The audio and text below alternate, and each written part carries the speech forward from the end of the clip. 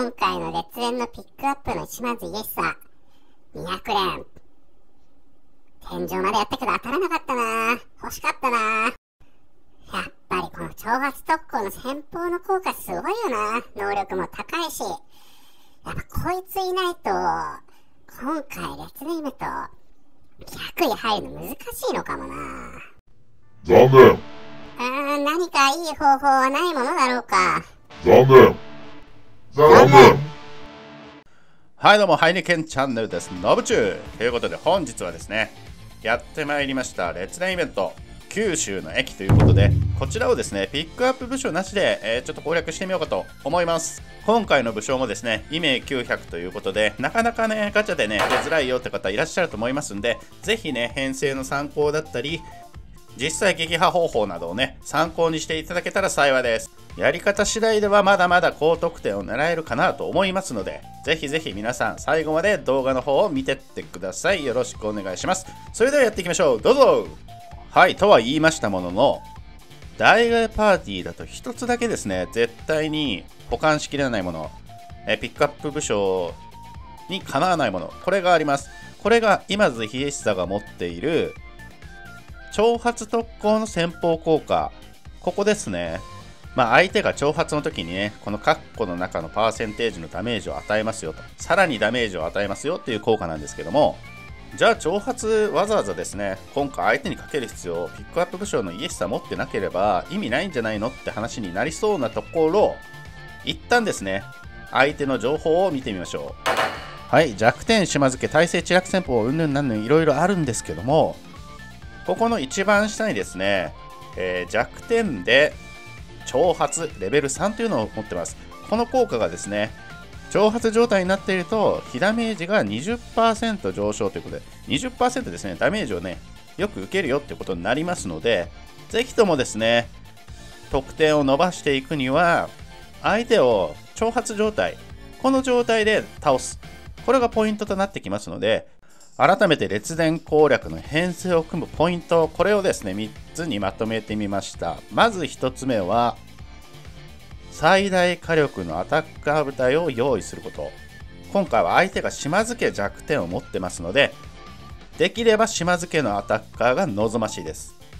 そして2つ目が最大のバフをかけれる攻撃上昇。今回はね武勇攻撃が効きますので攻撃をですね自分の持っている武将の中で最大限ですね乗せられるバフを選ぶと。バフ武将を選ぶ。現在のこのゲームの使用上ですね上昇バフというのは自身の攻撃値を100と仮定した場合最大400までしか加算されないです。なのでアタッカー部隊以外の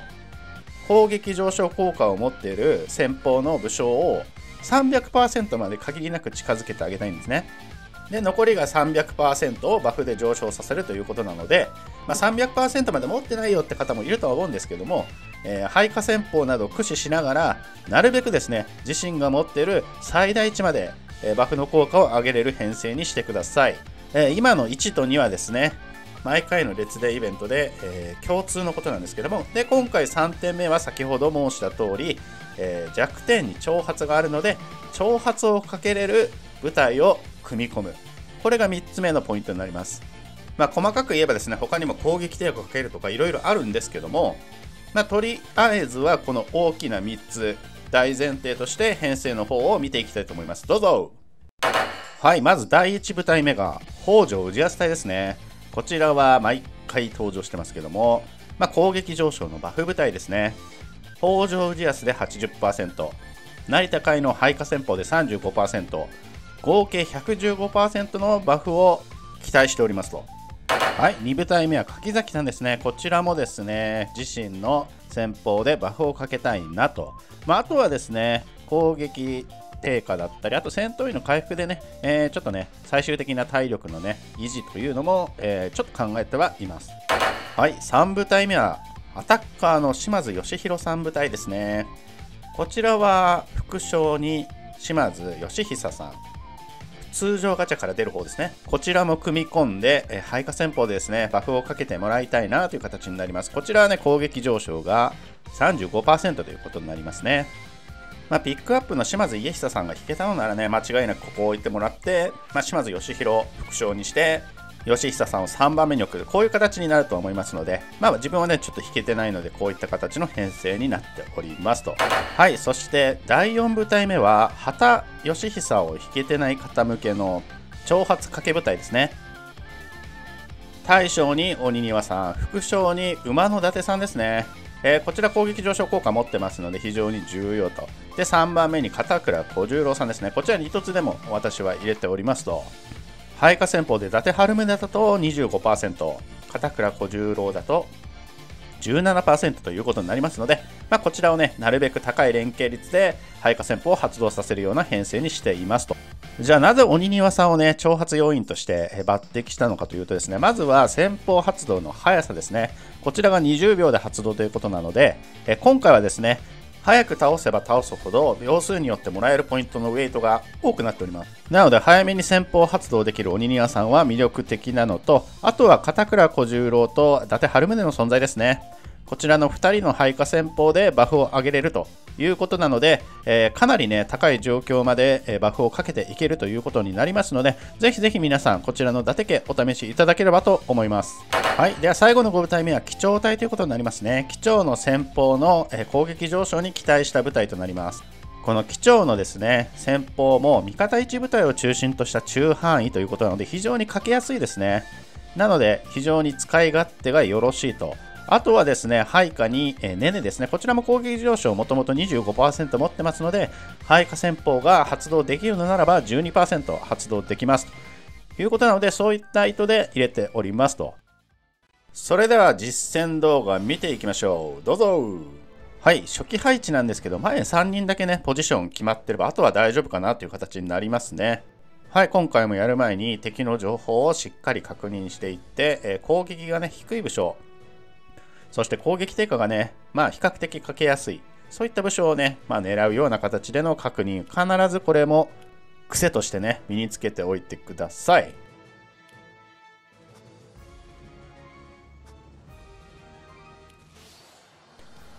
はい、それでは実際やっていきますけども、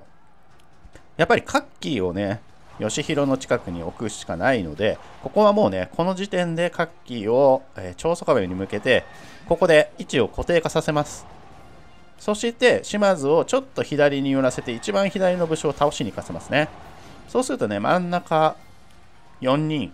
巻き込んで、えー、島津義弘の中範囲なら倒せるって形になりますので、そういった意図で義弘をね、ちょっとだけ左に動かしましたと。そうしたら各自戦法がたまりますので、えー、順々に、えー、バフをかけていくという形になります。ここでね、成田海は連携せずと。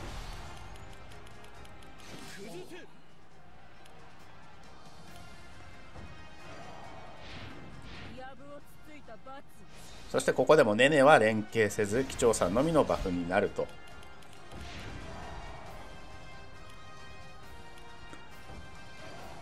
ここで柿崎3体はですね全連携ということになりまして攻撃低下が見事に、え全体にかかっております、まあ、注意点としてはね鬼庭さん挑発かかって体型がパッて崩れますので鬼庭さんの連携をかけるなら最後先方をかけるなら最後にしてあげてください。ここだけ注意点ですね。はいそして先方を放ったことによって相手のね顔アイコンの上にびっくりマーク出てますね。これが挑発かかったよって合図になりますので、えー、弱点をつけるということになります。あとは島津義弘の、えー、中範囲の戦法で倒していくということになりますね。ちょっと右から2番目の名もなき武将を倒しちゃったんですけども、えー、ちょっとね、攻撃値は400%まで上昇しきってないので、義久さんのですね、配下戦法をちょっと期待して戦法を放ってみます。はい、連携しませんでしたということなので、えー、最大まで連携すればもっとダメージ出ますよということになりますけども、まあ、それでもね、このぐらいのダメージは、えー、出すことができましたと。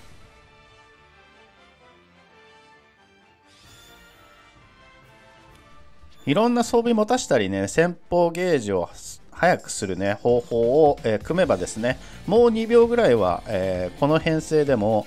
早くねクリアできるかなという伸びしろもまだありますしまさすがにですねやはりイエスサがいればもっと単純にダメージっていうのはバーンと伸びるとは思うんですけども少なくとも畑義久こちらの代わりは伊達家で十分補えるのではないかと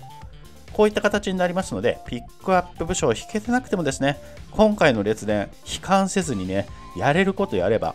ダメージは出せる可能性は全然ありますのでぜひぜひ皆さんもお試しください。